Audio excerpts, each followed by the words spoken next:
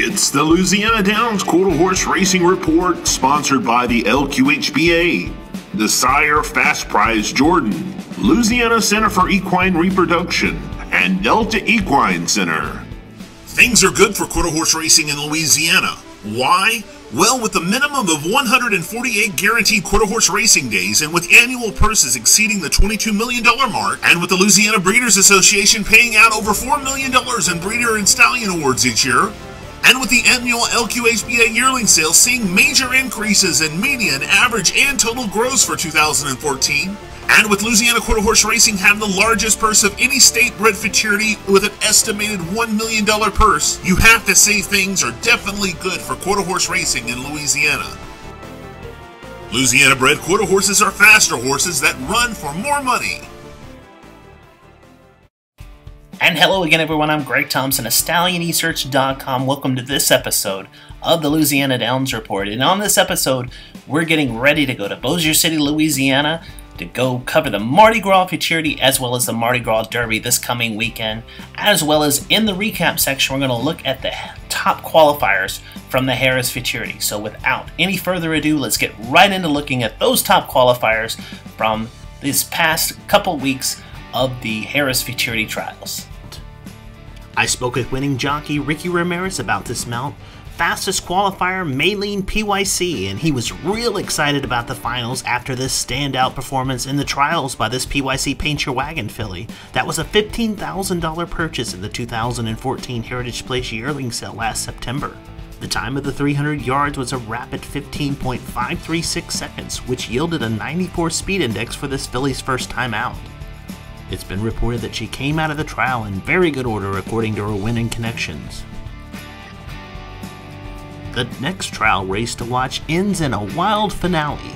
TG Corona's Memory wins the race only by a nose at the wire with jockey Alejandro Medina aboard, but So Smart and Cartel GG finish across the track in a three horse finish to dead heat for second and third. All three horses wind up with a 93 speed index for the effort. For more information about the Harris Futurity Trials and a list of qualifiers for the closing stakes event for the Louisiana Downs Quarter Horse Racing Meet, log on to StallionResearch.com. Okay, don't go away. We'll be right back after these words from Delta Equine Center. Delta Equine Center in Vinton, Louisiana. Breeders can view the stallion roster for 2015 at deltaequinecenter.com. That list includes the Grade 1 stakes producing sire Agouti, a brilliantly bred son of Corona Cartel. Shining First Dash, the Grade 1 placed half brother to leading sire Shazoom. Jesselli, the sire who has proven to be a stake sire from only a few starters. Bedouin Cartel, a stake sire from his very first crop to race, as well as a half brother to Stoli, and the highly versatile, multiple stakes winning FDD Going Grand. Quality, integrity. Delta Equine Center in Vinton, Louisiana. Okay, we're back here ready to look in the preview section. Let's look at this upcoming weekend stakes action in the Mardi Gras Futurity as well as the Mardi Gras Derby. Several storylines to follow in the Mardi Gras Futurity, and you can read the stories in the headline section as well as in the racing preview section of StallionResearch.com. But all eyes will be on whether the Vicky McElvain trainee One Tough Fox can throw another winning performance after this fastest qualifying effort in the last trial race of the day in the slop or will it be Jose Garcia trained VF Go Max Go, who is in the five hole in the finals with Eddie Martinez aboard? This filly made it look too easy in her trial event. Or perhaps is it Miguel Rodriguez trained Toast to Catch? With Randy Edison aboard, who draws the 9 hole and should be running eyeball to eyeball with another impressive qualifier in the trials, JB Red Scorpion, who will be in the far outside post with Paul Nieto aboard in the Mardi Gras Futurity.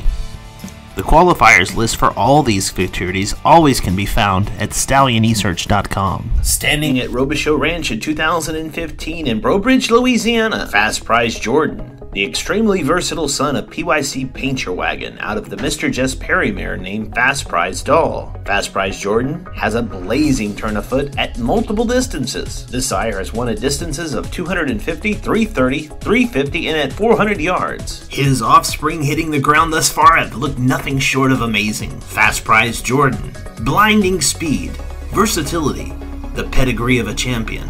Fast Prize Jordan, A returning champion is looking to continue his win streak here in the Mardi Gras Derby. Let's look at who are the top contenders. The Brenda Foster trained JLS Dashin and Zoomin brings a five race win streak into this $93,000 stakes event. And frankly, I have to tell you, he looks to be heads above this field going into the finals. Even the morning line odds maker has made him the even money favorite to make it six in a row. Under regular pilot Raul Ramirez Jr. in the trial, they both made it look easy seemingly keeping something more left in the tank for the finals. Let's see if this Jose Guzman owned gelding can continue his win streak in the Mardi Gras Derby. Okay, we'll be right back after a few words from our sponsor, Louisiana Center for Equine Reproduction. Introducing the stallion roster for 2015 for Louisiana Center for Equine Reproduction. Nationally top ranked sire Dash and Vi. The amazingly bred Fast Prize Dash. Son of First Down Dash, First Down Vi. Grade 2 winning son of Corona Cartel, Jess Cuervo. Grade 1 winner, Make It Anywhere. Grade 1 All American Futurity winner, Mr. Piloto. Grade 1 and champion producing sire Spit Curl Jess. Louisiana Center for Equine Reproduction in Opelousas, Louisiana. Be sure to visit them on the web at laequine.com.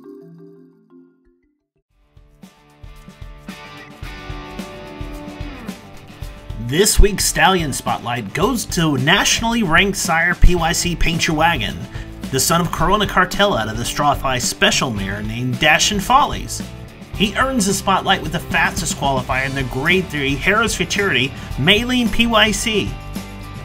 PYC Paint Your Wagon was a three-time Grade 1 winner as a runner with earnings of over $889,000. He has earned 17.3 million from only six crops to race and 22 black type graded stakes winners.